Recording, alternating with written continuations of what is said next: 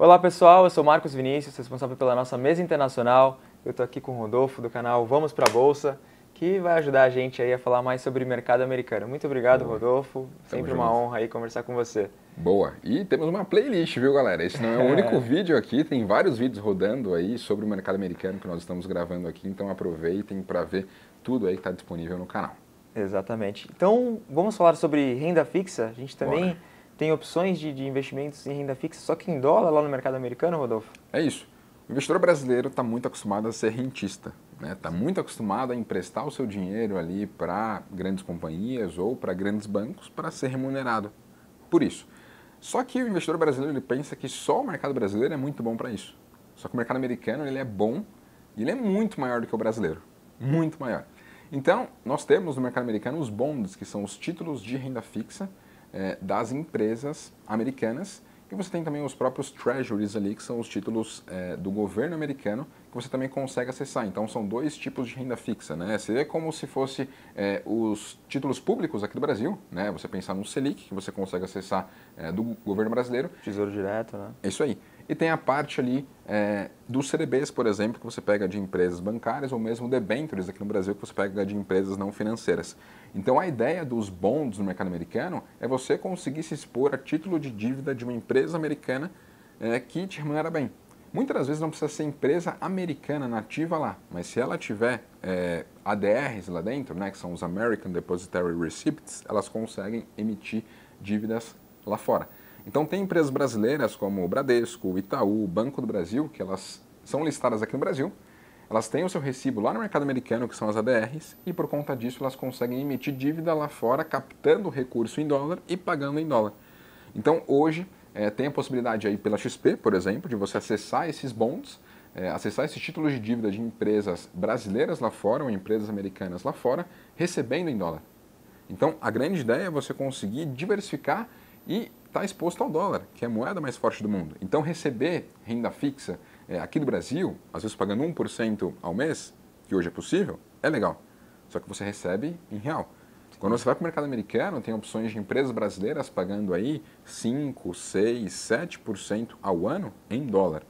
Então isso faz parte de uma diversificação, porque o investidor, para mim, ele tem que pensar em ter receita em real, que é importante, só que o real, que relevância que ele tem no mundo? Tem relevância? Tem, mas comparado ao dólar, é ínfimo. Então, é muito legal olhar para o mercado americano, para essa parte de renda fixa, porque dá para se expor a isso. É acessível, né? Antigamente era muito mais difícil acessar esse tipo de investimentos, tinha que desembolsar ali 50 mil reais, por exemplo, para acessar.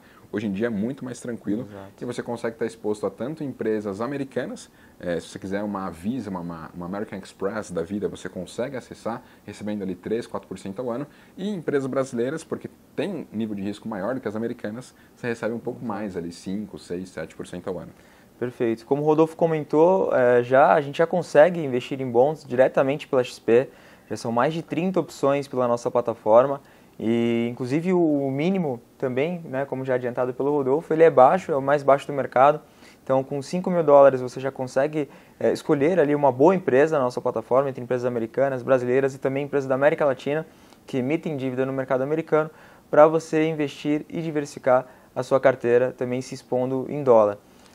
Isso é até legal, desculpa uhum. falar aqui, para complementar, porque assim, o cenário de juros hoje no Brasil, é, ele é interessante, só que no mercado americano também, porque Sim. nós estamos tendo ali o um aumento de juros lá fora. Então, é, a rentabilidade que nós temos hoje nos bonds está muito maior do que a gente já viu aí nos últimos 5, 10 anos.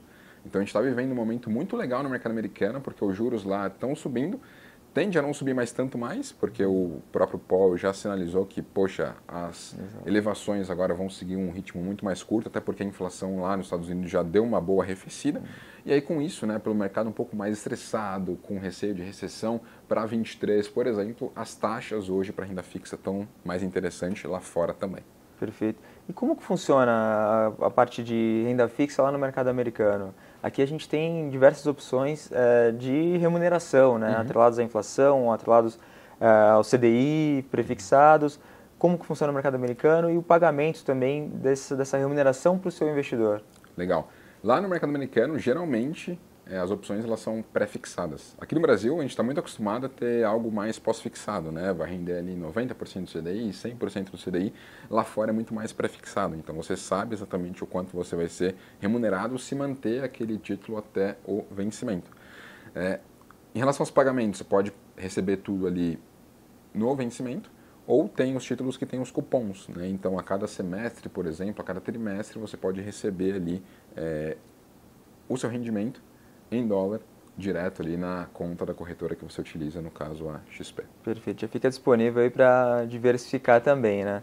E como a gente vem comentando aqui né, sobre essa importância de, de, de dolarização, são muitas opções ali para a gente diversificar e o tamanho do mercado. O mercado de renda fixa ele é maior que o nosso mercado de bolsa e o mercado de renda fixa juntos, né, o mercado de renda fixa americano. Ele é uhum. infinitamente é, maior do que o nosso aqui. O, o mundo procura essas, essas, oportunidades que a gente é, consegue atualmente por conta dessa alta de juros que a gente não vê normalmente lá nos Estados Unidos, como a gente costuma ver aqui no Brasil. Então, aproveite aí, é, são muitas coisas boas para a gente escolher, muitas oportunidades mesmo, e a gente tem a nossa mesa internacional aqui para ajudar você a tomar as melhores decisões e escolher os melhores bons disponíveis na nossa plataforma. Rodolfo, te agradeço. É isso. Muito obrigado mesmo. Valeu. Agradeço você também que assistiu esse vídeo. Não deixa de se inscrever no canal, deixar seu like e também acompanhar o trabalho do Rodolfo. Tem o canal no YouTube, Vamos para a Bolsa, no Instagram também, Vamos para a Bolsa. Seguir né, e ter mais é, ideias e, e também aprender mais com essa fera aqui. Boa, tamo junto.